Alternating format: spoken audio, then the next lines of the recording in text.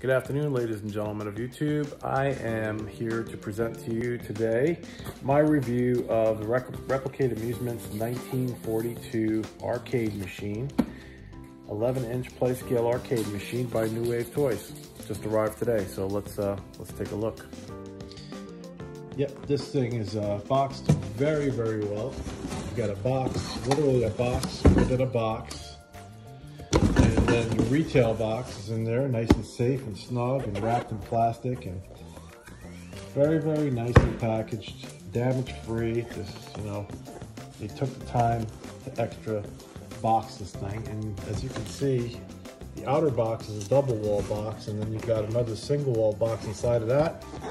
And then the decorative box is, uh, is actually a single wall box as well. So what you're looking at here is, uh, you know, two, four layers of protection on your arcade machine. And then you got some nice foam inserts protecting the machine. Of course, you got your instruction booklet. As with all of these units, you get your, uh, your tokens, your Replicade tokens. And uh, let's see what we got here in the box. Yeah, I'm waiting for this sucker for a while all the COVID stuff is just kind of screwing everything up lately as far as shipments and all. And uh, this one finally made its way here. You can see it comes with an extra controller so you can play two players. And it looks like there's some other buttons up top here. I'm not sure what these are for.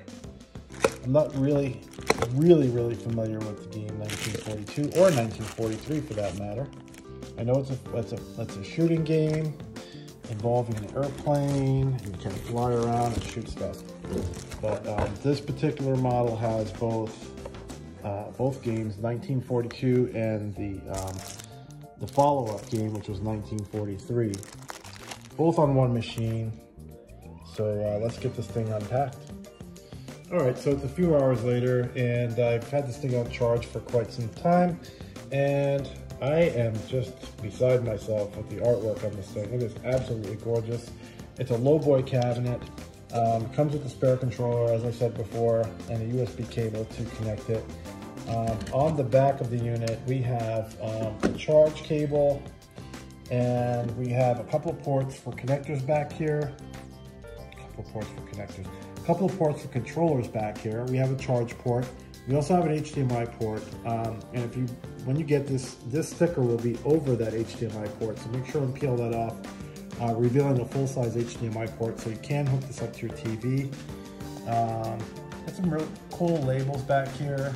You got your caution label, your danger high voltage side label, and there's also a Capcom serial number label up at the top, indicating that this is 1476 out of 5000.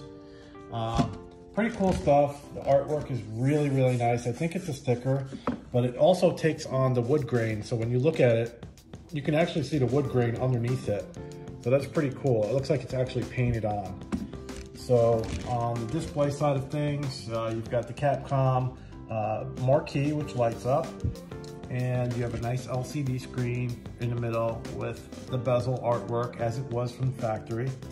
And you've got your controller, your player one, player two buttons, your uh, four-way joystick, fire and loop buttons.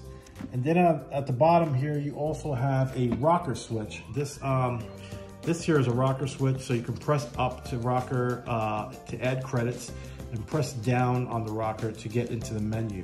The menu allows you to access different features and also allows you to switch between 1942 and 1943, which is the other game that this comes with.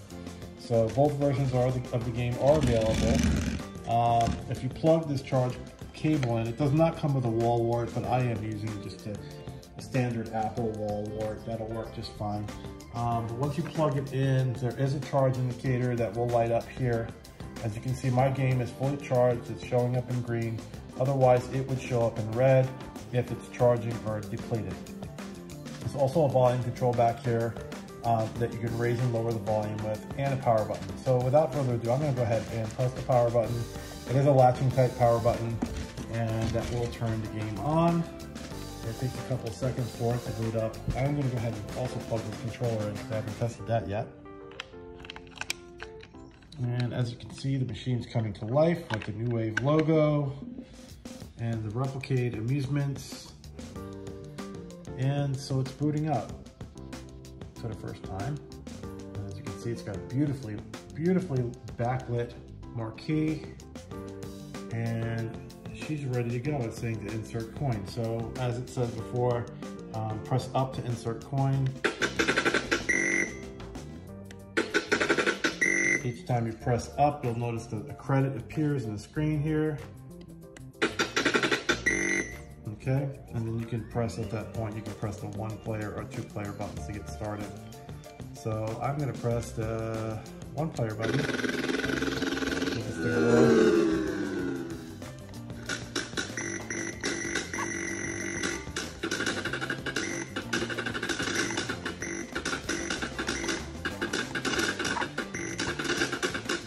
One-handed, so kind of bear with me here. Using one finger for both. But the gameplay seems pretty fluid and really, really nice. Kind of much like, I mean, the controls are very, very responsive.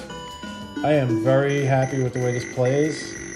You have your loop button, which allows the plane to loop. So I'm going to press the rocker down button, which will enable the, I think it puts the pauses it while you're playing the game. It actually pauses it while you're playing the game, so I'm not quite sure now that we're in gameplay how to access the menu rather than turning it off and turning it back on again. But I'm gonna go ahead and deplete my lives here. Get into a game over state here. And I'll press the rocker down button to see if we can get into the menu now. And it's pausing again, so that's kind of glitchy. Um, hoping to be able to get out of this section here. And um, let's see. How do we get to the menu when we are in gameplay mode? Okay, so after a little trial and error, it seems only like you can only access the menu after the game is booted for the first time. Once you've gone into the gameplay, that rocker down feature becomes a pause button. So um, yeah, that's not all that great. I tried pressing and holding it to try to get in the menu as well, but that didn't work. So I booted the game down, booted it back up, and that's what happened. So um, this additional sticker came with the game too. I kind of popped it here. I'm not quite sure where it went on the original game, but they did include this as well, which I thought was really cool.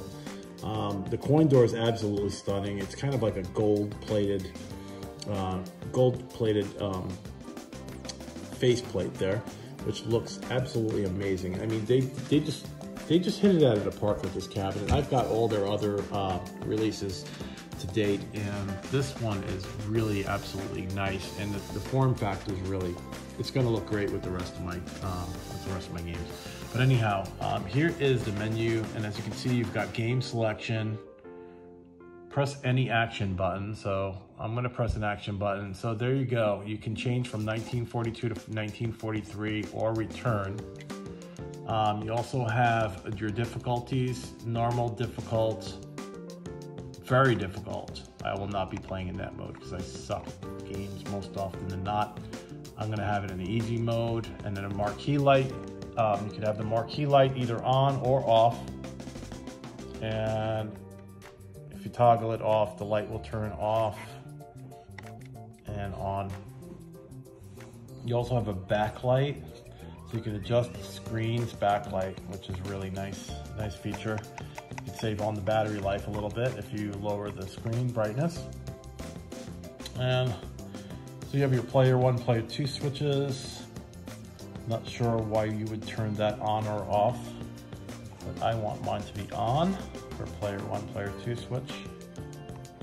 And replicate scan lines. Wow, so we have also the capability of turning on some scan lines to make it look a little more arcadey uh, and a little pixelated like the real thing.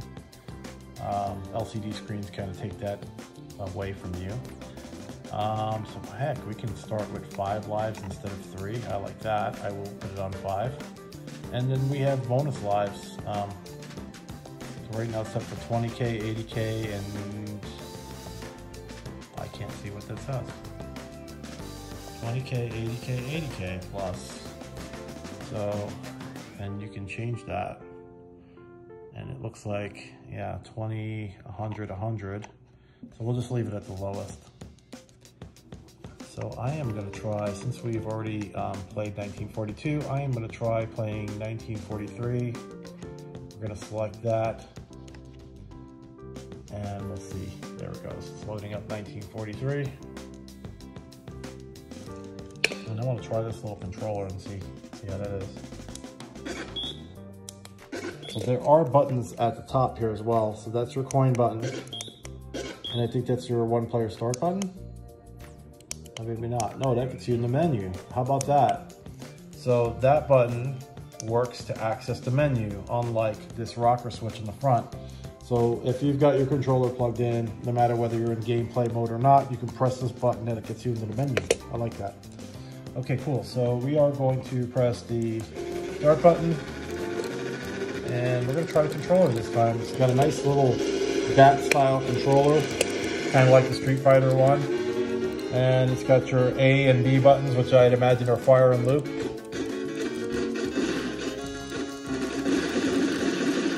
Again, I am playing one-handed because I uh, have nothing to hold my phone with actually.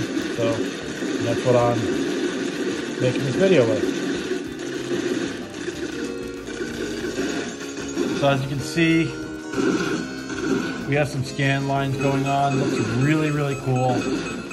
I really like that effect.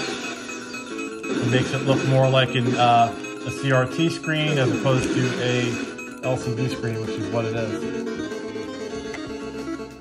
So anyhow, there's your volume control. gets pretty loud. It gets loud enough to uh, loud enough to be annoying, I guess.